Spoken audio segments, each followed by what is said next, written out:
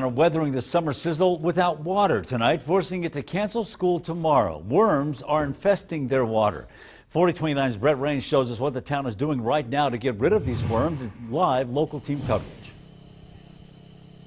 Yeah, we're in Colcord, Oklahoma, here at the city's water treatment facility. And right now, workers are, look, take a look, working on the city's main water tank along with the Delaware County Department of Emergency Management.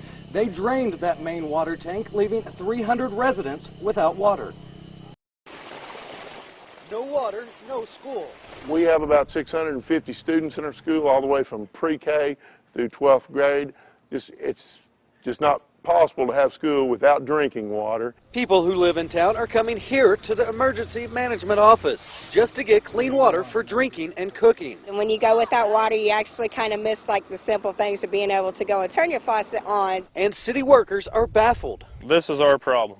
This is our worm. Red worms are being found in the main filters used for the water supply. Right now, they don't know how they got there or how to get rid of them. The chlorine won't kill these, bleach won't kill them. You can take the worms out of the tank, out of the filter system, and put them straight into a straight cup of bleach and leave them in there for about four hours and they still won't die. Water workers don't know what kind of worms are infesting the water, but they are certain people should not drink it. Yeah, it's bad.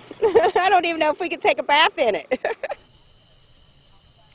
Again, right now, workers are still trying to repair that line. They have drained that tank, leaving the town of Colcord completely without water. Now, there is no word yet when that water will be restored or when it will be safe to drink.